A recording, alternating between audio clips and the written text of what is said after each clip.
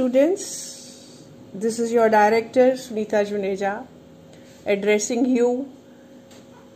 Being a teacher at the core of my heart, I felt like connecting with you through an audio and picked up a poem my mother at 66 to explain through my audio lecture as I was interacting with your English teacher, he has already given you the contents, videos, as well as written content, but I felt my audio should also be attached as a supplement to your already existing resources.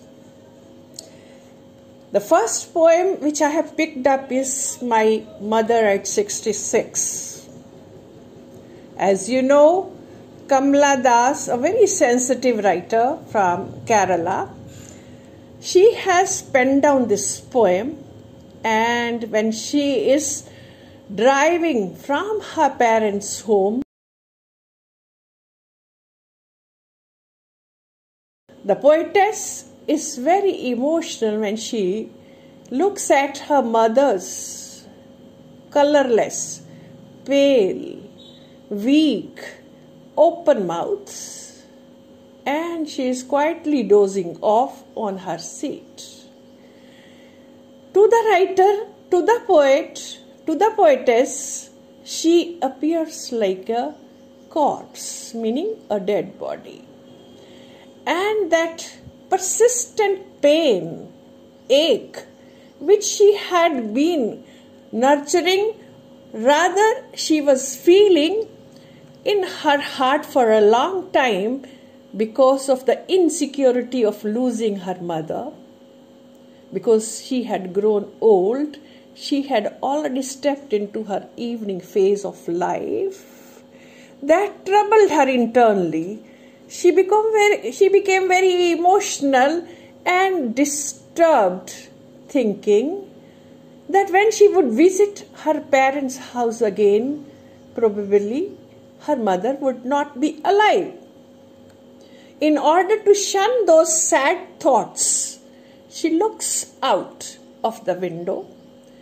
She, to change her mindset, she looks at the trees. She looks at the trees. As you know, in a moving car, trees seems to be running. Sprint mean running.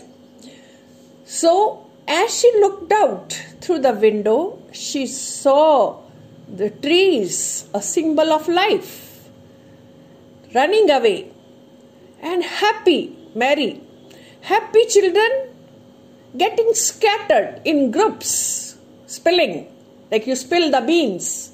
So, similarly, the young children get spilled out of their homes in groups for play. And they are a symbol of happy life for her. So here is a contrast between her mother's weakness, paleness, her, her old age, and the young children who, who spills out of their homes.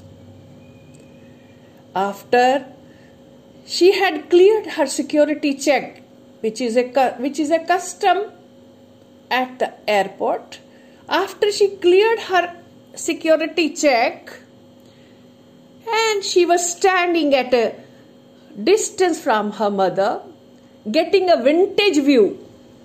From the vintage view, she again looked at her mother and she was enveloped by those serious and sad thoughts once again.